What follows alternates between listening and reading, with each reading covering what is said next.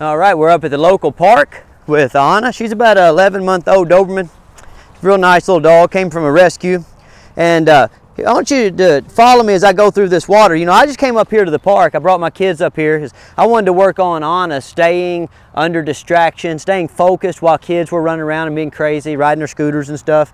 And uh, as I got up here, I noticed that we had a lot of standing water whenever you go out, guys, you know, you're going out to do some training, never neglect a, you know, a chance to take advantage of a new physical uh, sensation, you know, of acclimating a dog to a new physical sensation. Look at this, this is rock, and that rock's got kind of uh, algae growing on it, so some of it's rough, some of it's slippery, some of it's slippery and rough, you know. And this dog's never been acclimated to this type of uh, footing before, so I'm going to take a few minutes before I go into the actual skate park and I'm just going to walk in this water, you know. Now we've moved over into some mud. Look at this slimy, muddy stuff here. Look at that, you know. And you might say, well, Stonnie, why do I need my dog to be acclimated to that? Well, you know, this is the same kind of stuff. Like if somebody invites you to come down to their lake house and they have a boat, well, you're going down to where the boat is. A lot of times there's going to be slippery stuff like that on the steps or on the gangplank to the boat. You know, you go hiking. You want to go hiking, get two or three miles out on a hike, and you got to go across the old footbridge. It's got a little bit of mud and algae on it, and your dog freaks out, and you got to pack them across it. No, you know. So every time you go out, keep your eyes open. You know, and if you see something in the environment that the dog hasn't experienced before, take a few minutes and acclimate the dog to it properly. Henry, come on. You come in here too. Good boy, Henry. Now, of course, I've got Henry in here. That's my mentor dog. He goes with me wherever I go. Keeps the other dogs on point. I've got, if you look here, let me get to where the sun, you can see it. If you'll notice, I've got my English show lead turned into a halter. Got a little bit of liver with me, right? Okay? Because I don't want to carry a whole bunch of treats with me. So instead of paying a, paying a dog a lot of little treats, I just bring a little bit of liver with me because it's, you know, they like it so much. It's doggy crack. And then what I'm going to do is I'm just going to walk around out here. And as I walk around out here, I'm going to try to, uh, you know, thoroughly acclimate this dog not only to the activity level of the kids riding around and doing stuff, but uh, we're also going to start to do these obstacles. Good. People always ask me, they watch my videos, and they're like, hey, Stonnie, uh, I don't have an agility course. That's okay. Look, there's a lot nicer agility courses just in your real area than my agility course. My agility course is just a few boards and some, you know, some, some concrete blocks. Look at this. Look how fancy all this is. Show them, Eli, what we got here.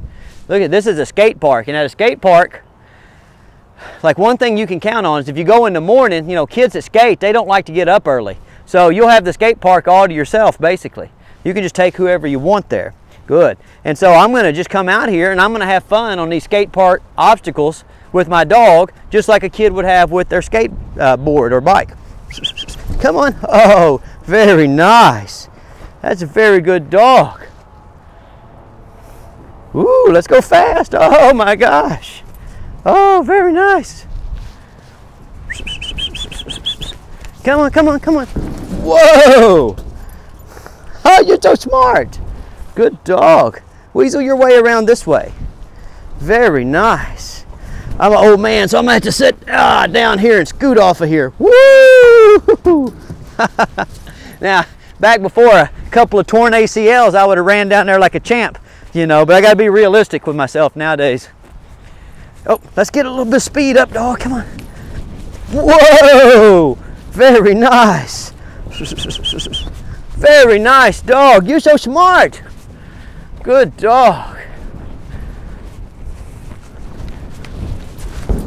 Whoa! You're a very smart dog. Oh, now let me slide down because I'm an old man. Slide. Oh, very good. Now can you get up here and stay? Up, up, up, up, up, up, up, up, up. Good. Sit.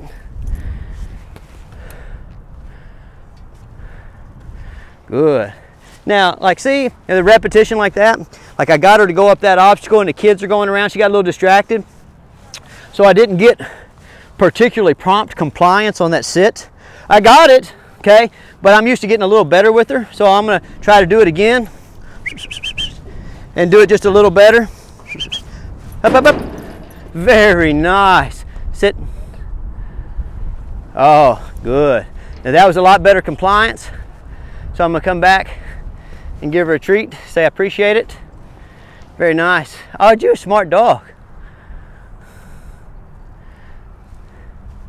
There you go. Georgie, come ride your bike right around this uh, obstacle here. And you about ride your bike right around the circle, right here. Good dog. Now I'm gonna have my kids come over here and ride around the circle, kind of make some noise and be crazy. Good. Very nice. The dog stayed there like a champ. So I come back and I give her a high value treat and say, I really appreciate that.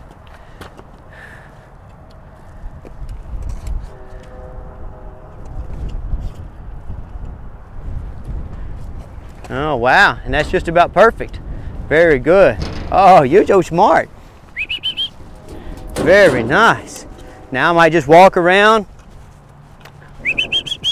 Practice just a regular sit. Sit.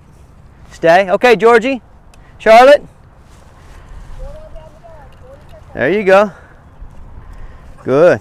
So she might just have to sit here like a champ. That's awesome. So I tell her I appreciate it, and then we take off. Come on, come on. Oh, very nice. Oh, it's a good girl. Very nice. Come on, we can do it. Whoa. Oh, you're so smart. Oh, you're so smart. Oh, you're so smarty. Oh, oh, you're so smart. Oh, you're such a smart girl. Come on, come on. Whoa. Oh, my old rubber boots are giving out on me, dog. Oh, what do you think? Might just take a little bit of a moment and lay up here and play with her. Oh, are you a good dog. Aren't you a good dog? Oh my gosh, where am I? Oh my gosh. Oh my gosh. Oh, you're a fine animal. Oh, you're a fine animal. Oh, you're a good dog. Oh, oh you're a good dog. Oh, oh that's a fine animal. Good dog. All right, let's go down. Whoa. Very nice. Okay, Georgie, now I'm just gonna loose leash walker and you can figure eight around me here.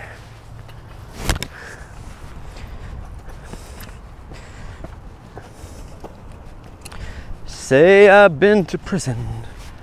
Oh, you're a very good dog. You're a very good dog. Very nice. Whoa, Charlotte, you're doing big tricks. I don't know if you need to be up there that high. Good dog. Might throw in some sits. Good. Now, see, now not only is this a different, from a point of view, if this is a different texture than this concrete, okay, it's also a different sound. So, like,